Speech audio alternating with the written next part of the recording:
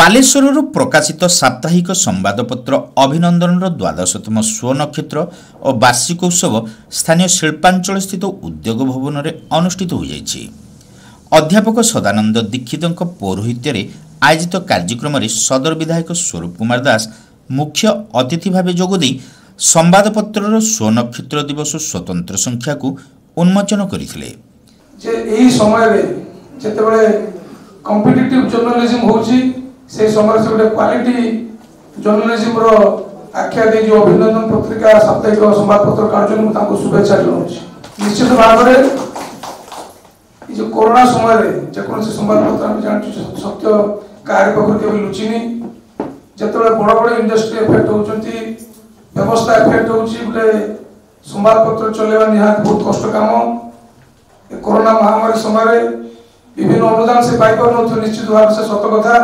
বিভিন্ন ইন্ডস্ট্রি চালু বিকজ কাহিঁকি না আপনার যেকোন সংবাদপত্র আপনার আডভার্টাইজমেন্ট জরিয়া চালে যে কথা রবির তো মধ্যে কৌলে এবং তাকে মধ্যে সমর্থন দৌলে বংশী ভাই যে বার পনেরো টঙ্কা গোটে পেপর প্রিন্ট করা খরচ হচ্ছে আমি কিণুছু পাঁচ টঙ্কার তো কেবল আডভার্টাইজমেন্ট এবং যে সাংবাদিক ভাই মানুষ যে নিশা কার্য মাধ্যমে পাচ্ছ নিরপেক্ষ এবং নির্ভীক ନିରପେକ୍ଷ ତ ହେବା କଷ୍ଟଯୋଗ୍ୟ ସମସ୍ତଙ୍କ ମନ୍ତବ୍ୟ ଥିଲା କିନ୍ତୁ ନିର୍ଭୀକ ହେବାର ଆବଶ୍ୟକ ଅଛି। କାହିଁକିନା ସମ୍ବାଦପତ୍ର ହେଉଛି ଗଣମାଧ୍ୟମର ଆପଣଙ୍କର ସମ୍ବିଧାନ ଏବଂ ଗଣତନ୍ତ୍ରର ଚତୁର୍ଥ ସ୍ତମ୍ଭ। ଆପଣମାନଙ୍କ ଦାୟିତ୍ୱ ହେଉଛି ସମାଜକୁ ସତ ଦେଖେଇବା। ସମ୍ବାଦପତ୍ର ଇଲେକ୍ଟ୍ରୋନିକ୍ସ ମିଡିଆ ହଉ ସୋସିଆଲ ମିଡିଆ ହଉ ପ୍ରିଣ୍ଟ ମିଡିଆ ହଉ ଏ ସମାଜର ହେଉଛି ପ୍ରତିବିମ୍ବ। ଏଥିରେ ପୂର୍ବତନ ବିଧାୟକ ଅରୁଣ ଦେ ସାପ୍ତାହିକ ସମ୍ବାଦପତ୍ର ନବୀନର ସମ୍ପାଦକ ତଥା ଓଡ଼ିଶା କ୍ଷୁଦ୍ର ଓ ମଧ୍ୟମ ସମ୍ବାଦପତ୍ର ମହାସଂଘର ସଭାପତି ରବି ରଥ ବରିଷ୍ଠ ସାମ୍ବାଦିକ ତଥା ଉତ୍କଳ ସାମ୍ବାଦିକ ସଂଘର ରାଜ୍ୟ ଉପସଭାପତି ରତିକାନ୍ତ ପରୀକ୍ଷା ବରିଷ୍ଠ ସାମ୍ବାଦିକ ବିପ୍ଳବ କୁମାର ମହାନ୍ତି ରଞ୍ଜନ ବାଗ ବଂଶୀଧର ଜେନା ପ୍ରମୁଖ ଯୋଗ ଦେଇଥିଲେ।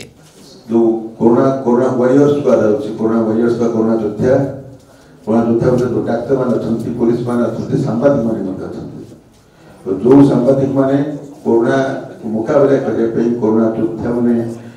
कोरोनार खबरकागज कोरोना संवादक आपण पहुँचापी जनसाधारण पाखे पहुँचापी से टीवी पेपर हो जो मैंने निज जीवन को बाजी लगे निज जीवन को प्रति खातिर नक संवाद संग्रह कर पहुँचे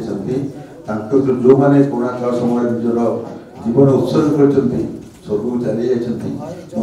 उद्देश्य ମୋର ଭକ୍ତିପଦ ଶ୍ରଦ୍ଧାଞ୍ଜଳି ଜ୍ଞାପନ କରୁଛି। ମୁଁ କହିବି ଖାଲି ହଉ ନୁହେଁ ଯାବ ଚନ୍ଦ୍ର କିଏ ଯେତେଦିନ ପର୍ଯ୍ୟନ୍ତ ଚନ୍ଦ୍ର ସୂର୍ଯ୍ୟ ଥିବେ ସେତେଦିନ ପର୍ଯ୍ୟନ୍ତ ଖବରକାଗଜ ରହୁ ଏବଂ ଏହା ବଢ଼ୁ ଆହୁରି ଆଗାମୀ ବଢ଼ୁ ଆମେ ଦେଖୁଛୁ ଆମ ଆଖି ଆଗରେ ଆମେ ଖବରକାଗଜ ଦେଖୁଛୁ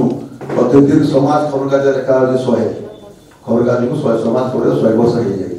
ତ ଗୋଟେ ଖବର ଶହେ ବର୍ଷ ହେବା ପଡ଼ିବା କଥା ନୁହେଁ ଆମେ ବି ତ ଶହେ ବର୍ଷ ନ ବଞ୍ଚିପାରୁ ଯଦି ସବୁ ଶହେ ବର୍ଷ ନ ବଞ୍ଚିପାରନ୍ତି କିନ୍ତୁ ସମ୍ବାଦପତ୍ର ଥାଉ ସମ୍ବାଦପତ୍ର ଅଧିକରୁ ଅଧିକ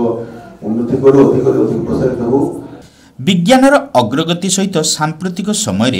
ବୈଦ୍ୟୁତିକ ଗଣମାଧ୍ୟମ ଲୋକଙ୍କ ମଧ୍ୟରେ ବେଶ୍ ପ୍ରଭାବ ପକାଇଥିବା ସତ୍ତ୍ୱେ ମୁଦ୍ରିତ ଗଣମାଧ୍ୟମ ତାର ପୂର୍ବ ସ୍ଥିତିକୁ ବଞ୍ଚାଇ ରଖିବାରେ ସକ୍ଷମ ହୋଇପାରିଛି ବୋଲି ଅତିଥିମାନେ ମତବ୍ୟକ୍ତ କରିଥିଲେ ମୁଦ୍ରିତ ଗଣମାଧ୍ୟମ ବା ସମ୍ବାଦପତ୍ରଗୁଡ଼ିକ ପ୍ରତି ପାଠକଙ୍କ ରୁଚି କମିନଥିବା ବେଳେ ସରକାରୀ ପ୍ରୋତ୍ସାହନ ଅଭାବରୁ ଅନେକ ସମ୍ବାଦପତ୍ର ସାମୟିକ ପ୍ରକାଶନ ବନ୍ଦ ରଖିବାକୁ ବାଧ୍ୟ ହେଉଛନ୍ତି ବୋଲି ସେମାନେ କହିଥିଲେ ଏଭଳି ସ୍ଥିତିରେ ଅଭିନନ୍ଦନ ସମ୍ବାଦପତ୍ର ନିରବିଚ୍ଛିନ୍ନ ଭାବେ ଦୀର୍ଘ ଏଗାର ବର୍ଷ ଧରି ପ୍ରକାଶିତ ହୋଇଆସୁଥିବା ନିଶ୍ଚିତ ଭାବେ ଏକ ସ୍ୱାଗତଯୋଗ୍ୟ ପଦକ୍ଷେପ ବୋଲି ଅତିଥିମାନେ ମତ ପ୍ରକାଶ କରିଥିଲେ ପ୍ରବଳ ଭାବେ କ୍ଷତିଗ୍ରସ୍ତ ହେଇଛି ସାରା ସରକାର ଛାପିବା ପାଇଁ ବିପଦ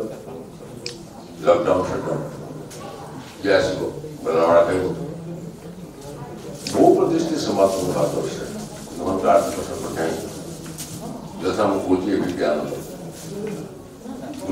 प्रकाश आंध्र पत्रिका टेलीग्राफ स्टेट्समैन इंडियन एक्सप्रेस एवं दक्षिण टाइम्स मीडिया दक्षिण डेकान हेराल्ड ये समस्त मतलब शामिल बार कहते होते हैं व्यापक कहते हैं ये অবস্থার সাথে সুসুদা দুর্গা পূজা পরবর্তীতে আসছে নভেম্বর ব্যাট করলেন ପର୍ବ ଠିକ ଆସିଛି ହକମାନ ବାଣ୍ଟି ପାରିଲେ ନିଜ କୋଟ ଛପାଇ ପାରିଲେ ହକମାନ ବାଣ୍ଟି ପାରିଲେ କଲିକତାର ଟିକେ କାଗଜ ଆସିଥିଲା ମୁଁ ଦୁଇଟା କାଗଜ ମୌଳିକ ଏହି ଅବସରରେ